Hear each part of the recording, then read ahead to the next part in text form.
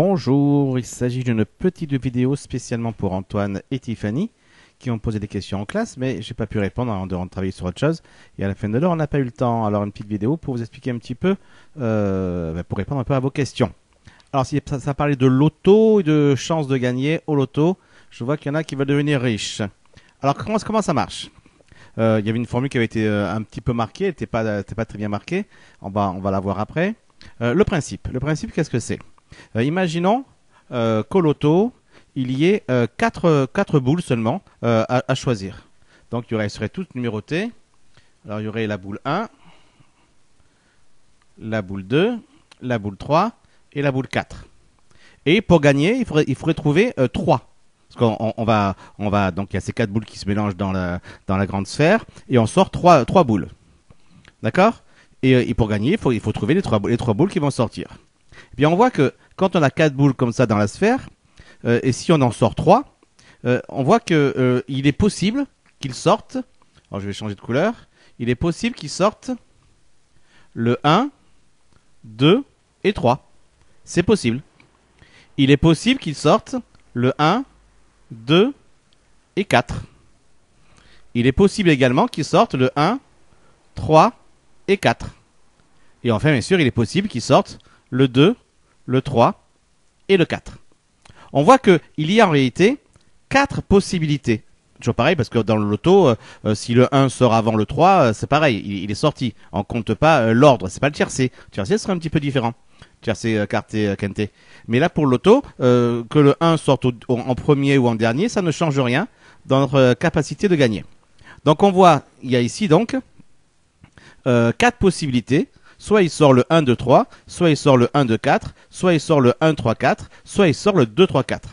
Et comme on joue une, une, euh, une, une, une grille, c'est-à-dire on joue, euh, euh, moi je dis, euh, moi je pense qu'il va sortir le 1, 2, 4, par exemple je, je pense qu'il va sortir le 1, 2, 4, eh bien j'ai une chance de gagner, si ça, ça sort, sur les quatre possibilités qu'il y a en tout dans ce, dans ce jeu de loto assez particulier.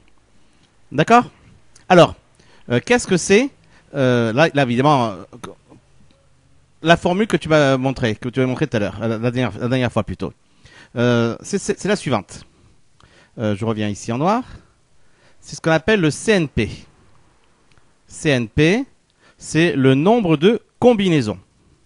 CNP, qu'est-ce que c'est? Ça veut dire si on a n boules dans la sphère et qu'on en sort P, combien y aura-t-il de euh, tirages possibles? Ici, j'en avais 4. Évidemment, si N et P, c'est pas les mêmes valeurs, on n'a pas la même chose. Alors, la formule que tu avais donnée, c'est celle-ci, euh, CNP, euh, qui est égale à, la, chose suivante. Que je me trompe, parce que c'est une formule que j'utilise pas très souvent, donc je ne le retiens pas forcément.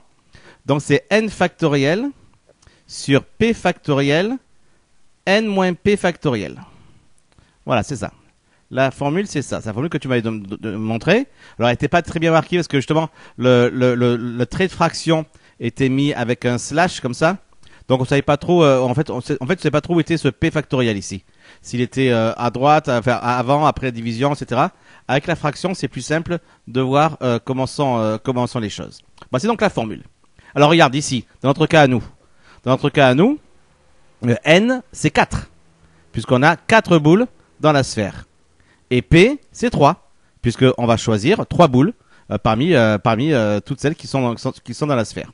Donc euh, le nombre de possibilités, c'est c'est 4, 3. Ça donne quoi comme euh, en appliquant la formule?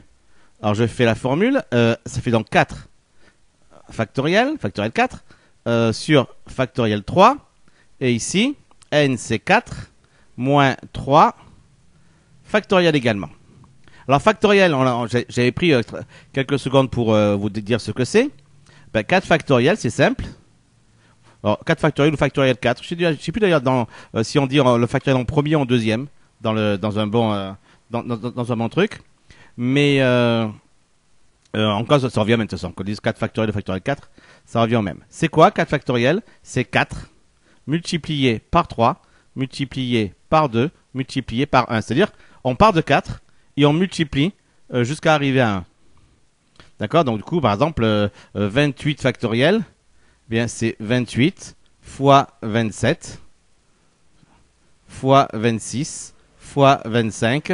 Bon, je m'arrête là parce que hein, à la fin, on finira par fois 2 fois 1. D'accord? Euh, Très très très vite, on arrive à des nombres énormes avec les factoriels. Hein. Déjà, factoriel de 28, c'est énorme. Hein. C'est, euh, c'est, bah, vas-y, euh, bah, fais les opérations à la main si tu veux, pose des multiplications, tu verras que c'est vraiment énorme, énorme, énorme. Alors dans le cas, nous, ça va, puisque c'est pas très, c'est pas si énorme. Euh, factoriel 4, c'est quoi? Eh bien, c'est donc 4 fois 3 fois 2 fois 1. Factoriel 3, c'est 3 fois 2 fois 1. Et euh, 4 moins 3 factoriel, 4.3 ça fait 1. Donc ça fait, il y, a- y a des euh, y a des multipliés ici. Hein. Euh, voilà. De toute façon, vous le savez, parce qu'on a, on a- vu les règles de multiplication déjà, mais je, je les rajoute pour être sûr que euh, vous, vous les voyez bien. Donc, euh, donc 3 fois 2 fois 1, c'est pour le 3 factoriel. Alors 4 moins 3 factoriel, 4 moins 3, ça fait 1. Il reste plus que donc 1 factoriel. Bah, factoriel 1, évidemment. Ben, c'est quoi? Ben, C'est 1. C'est 1 et puis on s'arrête là. D'ailleurs, par définition, factoriel 0, c'est égal à 1 également. D'accord, on a dé- décidé. Ça, c'est pas la règle, parce que on peut pas aller jusqu'à 1, on l'a déjà dépassé. On a décidé que factoriel 0, ça ferait, ça ferait 1. Donc, euh, 4 moins 3, ça fait 1, et 1 factoriel, ça fait 1. Et donc, euh, qu'est-ce que je vois ici? Ben, Je vois que j'ai une fraction. Je vais simplifier un petit peu. Les 3 en haut et en bas, le 2 en haut et en bas, les 1 éventuellement, de toute façon, on s'en fiche, euh, ça, ça, ça, ça, ça apporte pas grand-chose. Résultat, 4. Ça veut dire qu'il y a quatre possibilités, effectivement. Les quatre possibilités, je les avais trouvées, les quatre possibilités. C'est celle-là, la première, la deuxième, la troisième et la quatrième qui est un peu perdue ici. Qui est un peu perdue euh, dans, les factoriels. Donc il y avait quatre possibilités. Et euh, effectivement, ce calcul me dit qu'il y en a bien quatre. Je les ai toutes trouvées, j'en ai pas oublié. D'accord? Alors évidemment, euh, un loto comme ça où il y a que quatre boules dans la sphère et il faut en trouver trois, donc on a une chance sur quatre de gagner, c'est pas mal. Dans le vrai loto, c'est pas pareil. Alors le vrai loto, euh, alors je n'ai pas vérifié euh, maintenant, mais je sais que quand j'étais petit, en tout cas, le, le- le- le vrai loto, il y avait 49 numéros dans la dans, dans la- sphère et il fallait en, trouver 6. Voilà, tout simplement. Donc ça veut dire que le nombre de, de, de, possibilités qu'on, qui euh, de nombre de grilles qui peut sortir, nombre de possibilités qu'on peut avoir à la sortie du loto, lorsqu'on a 49 numéros et qu'il y en a 6 à choisir, 6 qui sortent, hein. on compte pas le complémentaire, de toute façon pour gagner, parce que quand tu dit pour gagner, c'est pour gagner le, gros lot, hein. le gros lot c'est quand on a les 6, le complémentaire on, s'en fiche. Donc on, on, en sortir 6.